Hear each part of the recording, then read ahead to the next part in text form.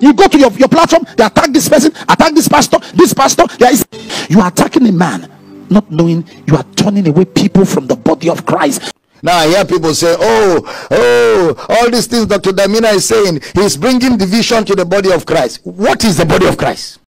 Dr. Abel Damina has replied Apostle Justice Suleman and others that normally say that Abel Damina is attacking the body of Christ. According to him, he said that there is nothing like body of Christ, that God does not have body, that Christ has no body. Please, I want you guys to watch the video. I will be back. Thank you.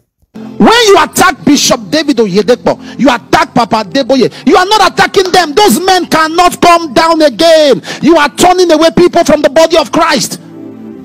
People, I saw a young girl in Abuja. She was all covered, a Muslim. I know you. He said, Yes, she was a member of the choir. I said, You left that church you were in. Say, Yes, I'm tired. Yes, sir, I'm tired. And she left. My heart broke. You think it's these ministers you're attacking? They can't come down. You can't pull them. These are ministers of God. The only person you can pull down is someone who is not called by God, is someone who does not have God's hand upon him. Uh, do you know what they have done to me? Do you know what they have done to me? Do you know the things they have said about me? It's nothing to me. Anybody who believes it, good luck. God bless you. I'm moving on with the assignment God has given me. I'm not interested in what people say or don't say. But the people they are turning away from the body of Christ. You are attacking a man not knowing you are turning away people from the body of Christ. People are living Christianity. The man you are attacking is still standing. So what are you doing? Are you working for God or the devil? Don't join that group. When someone and walk away, say, Don't pollute my spirit. I want to know what only God tells me. And I pray one prayer for you. You will not miss heaven. You will not be deceived with seductive words, seductive statements, by power of oratory power of diction, mastery of public speaking, and you become coward, become manipulated into hate and bitterness. And everyone who's a victim of bitterness, today I speak your deliverance. I decree God we exit bad company from your life. God will exit bad company. That God heals your heart. I don't know what the church has done to you. Maybe you have been offended. I understand. But God heal your heart. God heal your heart. God heal your heart. God heal your heart. As Much as I have the time to come out on social media to expose Pastor Abel Damina's biblical errors. Because you see, one of the ways Abel Damina is trying to bamboozle some of his hardens, some of his followers, some of his disciples is by just just by being vocal. Listen to me very carefully. It's not by whose pastor is more vocal. If, one of the ways, let me use the word, some pastors tend to deceive people is because by this bold declaration, bold speaking, someone can be teaching very silently and teaching the truth, while someone can be shouting and jumping on the altar and teaching heresies. You know why we dishonor fathers in our generation? It's because ourselves don't have any track record. Many young people my age, they come on Facebook and they are challenging Bishop David Oyedepo. Some of the ministries you celebrate did the greatest damage to Christianity in Nigeria. You are not aware. If you are placed on the scale with him, God will choose him and forget you. A son of doctrine. Have not labored in that scripture to know that it was a different civilization that was advertising. In 1979, Bishop Oyedepo called for three days fast for Nigeria. You started praying for Nigeria in 2015. You are talking and talking down on him. So someone has the capacity to build an edifice. That's not what God will, will check. He will check the people he's raising. That is the effort, that is his spiritual effort. And that is the sum total of the worth of his priesthood. Then you now see people that are not devoted to Jesus inside the building. And he's using the building as a means of talking about his status in the body of Christ. We lost it long time ago. Why we dishonor fathers in our generation? It's because ourselves don't have any track record. You have a track record, you be careful who you talk to. Many young people my age, they come on Facebook and they are challenging Bishop David Oyedepo. Who are you talking to? You can vanish from this generation. There will be no nobody will know. Everything you have done a thousand times can vanish inside of his own record. If you are placed on the scale with him, God will choose him and forget you. In 1979, Bishop Oyedepo called for three days fast for Nigeria. You started praying for Nigeria in 2015. And then you stand up today because you have preached in Enugu and Nnewi. You now say, ah, these people don't know what they are saying. you are a novice. you are about to fall into the condemnation of the devil. Most of what you celebrated for the past 25 years in the body of Christ, you celebrated Babylon. Oh, someone has the capacity to build an edifice. That's not what God will, will check. He will check the people he's raising.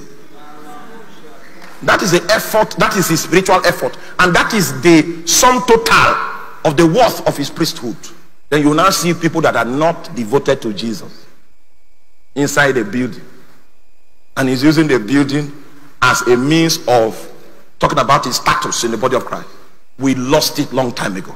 We don't measure ministerial success by crowd. We don't measure ministerial success by car, influence, and affluence. We are not businessmen and we are not politicians. This generation is sick. All we are into is who is big, who is huge. Look at the crowd, numbers. That is all we are sick about. 40 years ago, my friend Dr. Michael Bassett of blessed memory said to me, We went to have breakfast in Hampstead. And he said, Nick, the name of the game today is numbers. Don't forget Nick. He said the name of the game is numbers. It's not just about the souls, it's all about the numbers. Because the numbers brings the money and the numbers bring recognition, attention, relevance, and acceptance. When you have the numbers, people don't care how you got it. Everybody runs to you and you become the biggest thing in town. The name of the game, don't forget, is numbers. Ministerial success is measured by soundness in doctrine. And when you start teaching people sound doctrine, even if they are four and they grow in the knowledge of Christ, you're successful. That's why Jesus said his church is where two are. That's the church of Jesus. That's the church of Jesus. Two or three gathered in my name, I'm there. That's the church of Jesus. But you know, we human beings, we, we have brought worldliness into the church. So we use the yardstick that unbelievers use to measure success. We brought it into the house of God. Which is why some young pastors are under pressure and some of them go to native doctors to collect things and use it to be pulling crowd. I was telling somebody the other day that even if I have my way, I will remove that archbishop. Hey! Listen, my focus is not about position, it's not about title, it's not about office. Kaduma Di Kasa. I want to be on fire, even in my old age. I want to be on fire for the Lord. Eh? Don't respect a man of God because of his cars. You respect him because of what is coming out of his mouth. You check his doctrinal weight. That's what determines respect. It's not the crowd. It's not the houses and the cars. Those are not the things that make ministry. Does he have more houses than Elon Musk? Have you heard of Elon Musk? They are going to them to, to Mars to go and build a planet. They are moving. They said this earth, too many poor people everywhere. They the rich, they want to change address where only people like them can live. And it's no more on earth, it's at Mars. I'm not joking. When people have too much money and don't know God, they want to go to heaven and meet God. Yes, they want to go to Mars because this earth, too many poor people everywhere. Let's go to Mass where we only see people like us. So if success in ministry is by wealth, no pastor is successful because no pastor is as rich as these guys. I'm calling their names. Is it Zuckerberg? Those guys are controlling nations. They're controlling nations, world economies. They call them the big tech. Even American government is crying in their hands. They are crying in the hands of these big tech guys. Twitter, Facebook. They are crying because those guys are too rich. They are so rich that they can they can tamper with the configuration of your nation. They can determine what happens to you to your Nigerian election. They can tamper with anywhere. Big tech. Yet these guys don't care about Christ. They're not interested in Christ. So if ministerial success is money and cars and houses, let me tell you, the most carnal man on earth is a man that respects a man of God because of his wristwatch and his suit and his car. You are as carnal as carnality can be. Real spirituality is to respect men that labor. Bible says they that labor in word and doctrine deserve double honor. Then he say esteem them highly for their work sake, not for their car sake. That's why preachers feel when you just have big cars, you know, big cars, and you have bodyguards, you have escort and pilot cars. When you enter everywhere, as you're coming out, your protocol, they're pushing everybody down, pushing everybody down, so that the man of God can come out. The man of God. And then you see him feeling cool as they are pushing people down. The same people you are supposed to disciple and build up, they are pushing them down, and you are happy. If it was in the days of Paul, when Paul will enter a place and people are kneeling down to greet him, he kneels down and says, Stand up! We are not gods, we are your brothers. Mama and I went to Zimbabwe. You remember? As soon as we arrived Zimbabwe, they took us from the airport to the church. Service was holding like this. As we arrived in front of the church, everybody knelt down. I asked Mama, what is that? Mama said, let's be watching. Everybody, protocol, ushers, everybody's on their knees. So I'm not comfortable with it. I don't I don't understand this kind of thing. We are not slave masters. Anyway, I'm watching. As we approach the front of the church door like this, the whole church saw Mama and I. Everybody knelt down. I told the pastor, no, no, I'm not used to this. What's this? He said, no, that's how we do it here. When they see a man of God, they must kneel down. No, tell them to stand up. This man of God can only operate if they can stand up. If they are not standing up, having done all to stand, so if they cannot stand, we can't teach them. But you know, some men of God will feel cool. Kneel down well, kneel down well, kneel down well. Kneel down well, my son. Kneel down well. You are kneeling down until your body is shaking because you are tired. The man is still telling you, kneel down, my son. Kneel what? Kneel what? That's not honor. That's not honor because a man can kneel down and be abusing you. Idiot. Nonsense. See is punk, punky. Real honor is from the heart and it is honor for the word. You didn't hear what I said. Real honor is from the heart and it is honor for what? The word. You're honoring the man because of the word that is coming out of him to shape your life. Ah, okay, if you if you are flabbergasted by my car, how does my car add value to your spirituality? How does the car I drive add anointing to you? Why are you shaking that a man of God came with a limousine? Why? It's all this prosperity gospel that brought all that nonsense. And it tampered with priority so that the church people, God's people, don't know what to honor men of God for anymore. So they honor us as if they're honoring politicians. We are not politicians. That's what happened in the body of Christ in Nigeria for the past 25 years. We celebrated people that should be cast out. Some of the ministries you celebrate did the greatest damage to Christianity in Nigeria. You are not aware. You are not a son of doctrine. Have not labored in that scripture to know that it was a different civilization that was advertising. People are desperate because they have told them ministerial success is car and house. Let me be honest. Listen to me, every one of you. When I came into ministry, pastors were not anything to talk about. To even marry, if anybody agreed to give you their daughter, is the grace of God. Because when I joined ministry, the best of pastors were using bicycles. Most were trekking. There were not many pastors that had car. So I didn't come into ministry for money and fame and popularity. I came into ministry with a raw passion to teach people the word of God and help people. That's all that brought me to ministry. That's all. And I didn't join ministry at old age. I entered ministry as a young boy with all my potentials to be as successful as anybody in the secular. But I chose to consecrate that for ministry. That's why when I see the truth of the gospel, it doesn't take me a day to make my U-turn because I'm not in this thing for anything ulterior. I'm in this thing for the truth of it. It's not about houses and cars. What's the body of Christ? Which one is the body of Christ? You think all the churches is the body of Christ? churches are not the body of Christ. Before Jesus came, there were churches. There were churches before Jesus came. And that's why when he showed up, he said, I will build my church. He didn't say, I will build a church. Because there are churches, but now I'm going to build my own. So in the midst of churches, there is a body of Christ somewhere. you know, Pentecostal think Catholics are not the body of Christ. and Catholics think Protestants are not the body of Christ. Methodists think Anglican are not the body of Christ. That the body of Christ is only Methodists. And Anglicans think Anglicans are the body of Christ. Methodists are not. You know, so because of that, we, we, we, we don't even know what the body of Christ is. The body of Christ is not a physical building. The body of Christ is not physical human beings. The body of Christ is a spiritual org- organism a, or a spiritual a, a spiritual being that came out of his resurrection. That's the body. Watch. Jesus said, Destroy this temple, and in three days I will raise it up. And on the third day, he raised it up. So the body of Christ is in the resurrection. That means anybody that has not received the resurrection of Christ as a reality in his life, he is not the body of Christ. You can go to church, but you're not the body of Christ. You are not in the body of Christ till you have accepted his resurrection. So, the body of Christ are those individuals put together who have accepted the message of his resurrection.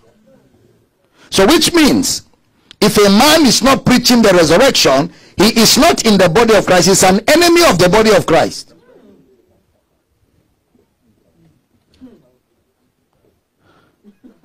Watch. Till we all come in the unity of the faith. So, what is the unity of the faith? It's not gathering churches together. The unity of the faith is the knowledge of the Son of God. That's the unity of the faith. The knowledge of the Son of God. The knowledge of Christ is where we have unity of faith. Where everybody is preaching Christ crucified. Christ raised from the dead. When all of us are preaching that message, we're in the unity of faith. Not that I'm preaching the resurrection, you're preaching generational curses. There's no unity of faith, that's fighting of the faith. I'm preaching his resurrection, you're preaching family patterns. I'm preaching the resurrection, you're preaching uh, uh, uh, uh um, uh, portals and dimensions and depth and heights.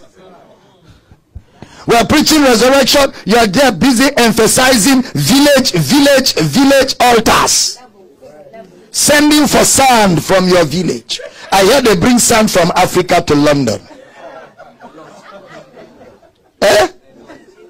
I hear it's much. Our governments will start having, they have to start charging for sand. That's another source of income. How can you come to London? How can you come to civilization and go back to Africa to bring sand? Your own colonization is beyond is beyond redemption. How can you be in London and you're still tied in a village?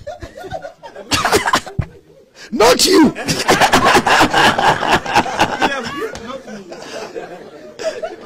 So I, I, was teaching in church just a few years back, just before mm. COVID. I was teaching on the eagle. And I made this assertion that I've been hearing for at least 30 years. The eagle is the highest flying bird in the world. The next day, a church member sent a text message to Pastor Nick and said, I, I know I don't have the right to correct Pastor Sam, but he said something in church yesterday that the eagle is the highest flying bird in the world. That statement is not correct. As she was saying it, I was on my phone checking on Google. The person was right. The eagle doesn't even come within the first 10. God bless you, Pastor Sam. Yes, I went back to church and I apologized. I told them God bless you this one of you said I checked it up. That's why we need to allow younger people in into leadership, honestly, because God bless we don't realize you say something now that you said before and nobody would even bother to swallow it. They are checking on Google as you are saying it, and now they are seeing hypocrisy. That's why people are living. God bless you. Again, because time. people are holding their ground. The leaders Pastor are holding Sam. their ground. What do you mean? And these young people have gone to check all those uh, in the original Greek that you were saying before, because nobody understood Greek. If they go online now, they will get the correct meaning of what you're saying. They're seeing a lot God of hypocrisy. bless you over in leadership. Over they want again, authenticity, and uh, this is just a call on all of us to practice leadership with honesty. And nobody says leadership with People honesty. us to be perfect, but they want us to be perfectly honest. When I when I owned up to that error on the ego, then I was getting text messages and emails, and people were saying, "Wow, thank you for doing that." I never thought a pastor could do that to come back uh, and admit that they were wrong. People just want that authenticity, and they also want accountability. Shalom, child of God. Welcome back, my people. New subscribers, thank you so much for joining me. Returning ones, I appreciate your support. Thank you so much. I'm grateful. I really understand what Apostle Joseph Suleiman is saying here. But the problem here is this. Dr. Abel Damina normally correct errors. Errors in that our body of Christ. You know, you guys say body of Christ. I normally say that there's nothing like body of Christ. And Abel Damina has said it now. You see this thing we guys are doing. There's nothing like body of Christ. Okay? There's nothing like body of Christ in Nigeria. There's nothing like body of Christ in Africa. There's nothing like body of Christ in America. Because in the Pentecostal church worldwide. Because what you guys are doing is not Christianity. If there is body of Christ, body of Christ can never have bitterness. In body of Christ, you will not see anger and jealousy. In the body of Christ, you never see wickedness. In the body of Christ, you never see competition. You guys are doing competition. Everything, business. Why is it if you claim that you guys have body of Christ? Why is it that Pastor Paul and Pastor Peter cannot preach on the same pulpit, cannot be in the same church, serve in the same church for 20 years or 30 years together without having issue or without uh, Paul saying, No, I want to go and open my own church. Apollos, this, this, and that. Paul, this, Apollos, waters. Why are you guys not practicing it? Bible recorded that the disciples of Jesus, they were in one accord and they did exploit because of oneness. But in my own generation, it's a generation where pastors don't want to be in oneness. And they still they claim that they, they have body of Christ. Sir, there is nothing like body of Christ. Until you guys come together, now unite, have one spirit and one mind. You see all this thing that is going on on social media. This pastor attack this, attack that. It's because of bitterness and jealousy. Because you guys are doing it as business. If you guys are doing it for humanity and you know that you are serving God, you will be you know be jealous in each other. If I preach nonsense, you call me in the secret. All pastors have their telephone normally have their telephone number and their contact uh, details. You can reach out to me. You know how to reach out to me. Or they should have organization. They should have body. This they say can. This kind of a thing they're not working. Must, if the if that kind is working, they're supposed to ban pastor correcting pastor on social media. Is wrong. Using your pulpit to address another pastor's message or anything is wrong. You don't do that. It's wrong. If you guys are in oneness, if there is anything like body of Christ, what you have to do is to reach out to that body. Is can rather in Nigeria, Pentecostal Association of a thing. You guys supposed to have it in Nigeria, in anywhere, in all the part of the world. If I preach nonsense, you reach out to me through that platform. If you couldn't find me, if you couldn't reach out to me personally, you reach out to me through that platform. Then pastors there will look into my teaching. This teaching is wrong. Okay, they will reach out to me. They will send me the your message. You will look at you pride, you drop pride because all this thing is pride. You drop pride, look into the teaching, see my correction. Oh, I think I'm wrong. You go back to your pulpit and correct yourself. Pastor Pastor Sam Adeyemi said that if this video is no longer, I'll attach that his own. He said that there was a time he preached nonsense and somebody online corrected him. He quickly corrected him. He, he said, Oh, I made a mistake. He went back and corrected it, correct himself on the same pulpit. He did not quarrel the, the guy. No. So that is how it's supposed to be. But you guys pride. If they correct you, you call it attack. He attacked me, he attacked me. Even if the person did not condemn you or condemn what you only say no to this teaching. That this your teaching is wrong. You say, oh, hey, this and that. Pastor, you guys should fear God. So there's nothing like, for me, there's nothing like body of Christ. In body of Christ, as in the one you guys are practicing, there's nothing like body of Christ. And that is why you see today, people are not ridicule Christianity, on, especially on social media, especially on Facebook. People are ridiculing Christianity. This one, this, this and that, because of so much attack. Me that even creating this content, I'm attack, I'm fed up. It's not healthy. For me personally, it's not it's not healthy. At times, if I look at it, I say, Why, oh God, what what is all this, Pastor? You want to correct another pastor's message or correct another pastor? You are using bitterness, you are using abuse, you are using curse, you are using all sorts of things. And they call it correction? No, sir. Bible says we should correct in love. We must not attack somebody. So attack is different from correction. In correction, you must you will never use abusive words. Never.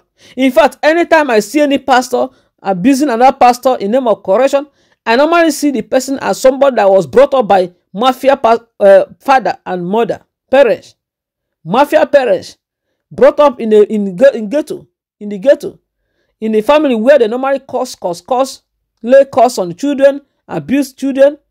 That is where you normally they normally learn that thing.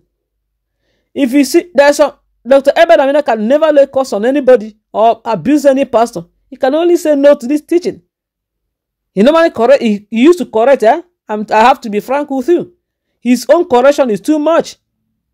But all that his corrections, he has never abused any pastor at the cost of correcting him. at the cost of that his teaching. I have took my time to watch his videos and his correction. I have never heard him say, This stupid man, this foolish pastor. No. He normally say, This teaching is wrong.